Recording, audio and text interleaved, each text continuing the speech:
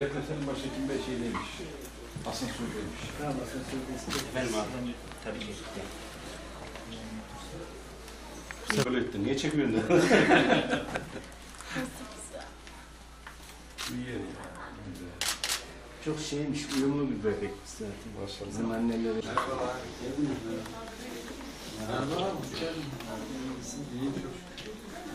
Bebeğimiz burada mı? Evet.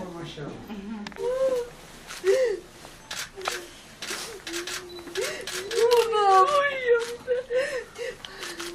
Kurban olam umudum. Babayı hemşire hanım. Ne yapıyorsunuz siz? Umudum. Umudum. Teyzesi. Babayı kimlere bıraktın gittin umudum. Baba gitti. Umudum. Umudum. Melek umudum. Gül kokulu umudum. Gül kokulu. Doyamadı baban sana umudum. Babam bir ay görebildi seni. Umudum, melek umudum.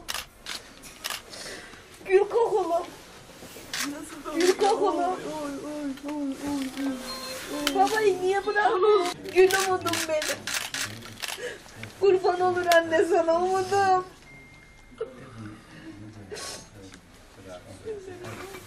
Umudum benim. Ana umudum. Ay umudum. Babanın kucağında bağırdın umudum. Umudum. Bir saat bağırdın mı? Bir saat beni kurtarın diye bağırdın. Çığlık attın umudum. Son kez sen orada biberon içirdim, mama içirdim, bıraktım. Oh kurban olayım, sesine kurban olayım umudum. Gül kokulu. Ablacığım neler söyleyeceksiniz? Şu an yani hem mutluyum hem üzünlüyüm. Bir tarafım eksik. Bir tarafım yani Allah'a şükrediyorum. Üç tane çocuğumu bana bağışladığı için Rabbime binlerce kez şükürler ediyorum. Ama bir taraftan da şöyle eşim yok, ablam yok. Dedesi gitti çocuklarımın. Ya bir tarafım hep buruk, bir tarafım sevinçli. Hem seviniyorum hem üzülüyorum. Kaç gündür görmüyordunuz? Depremden beri görmüyordum. En son depremden 10 dakika önce mama içirdim, uyutmuştum.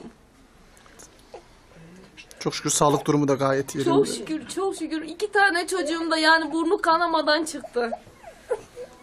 Umudum. Oy kurban olu annen sana. Umudum. Açtı mı gözünü? Bir de bana bakarsanız. Bir kare daha. Bize depremzede olarak başvuran hastalarımızdan bir tanesi ayın 14'ünde başka bir merkezden gönderilmişti bize. Ayağında kırık ve e, ezilmeye bağlı yaraları çok fazlaydı. Biz bu ezilmeye bağlı yaralar için e, vücudun başka bir bölgesinden derin nakli yaptık. E, kırık için de ortopedi gerekli e, tedaviyi uyguladı. Şu an gayet iyi gidiyor. E, yaraları iyileşmeye başladı. Sanırım bu hafta içinde yaraları tam düzelip taburculuk planlıyoruz inşallah. Tabii böylesi durumlarda bir e, bebeğin annesine kavuşması bu büyük acılar içinde e, az da olsa yüreğimize bir miktar su serpmiş oldu.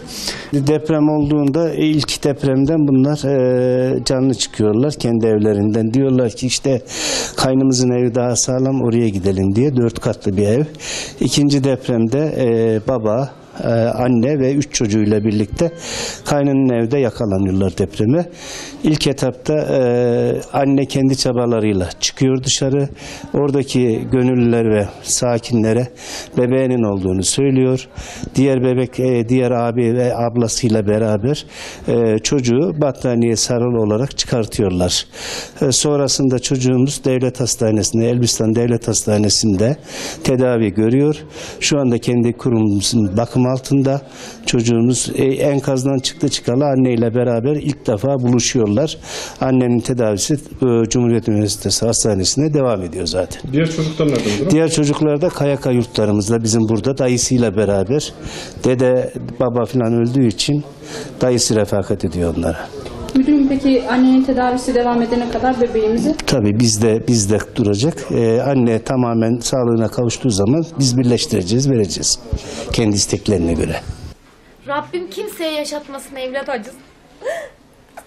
Eşimin yokluğunu bunlarla dolduracağım.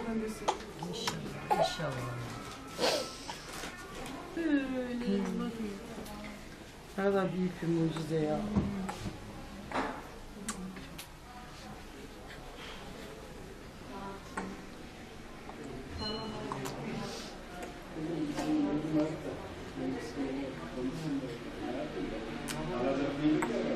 Annemin oraya Annemin gittiğinde de de göreceğiz. çekilecek mi?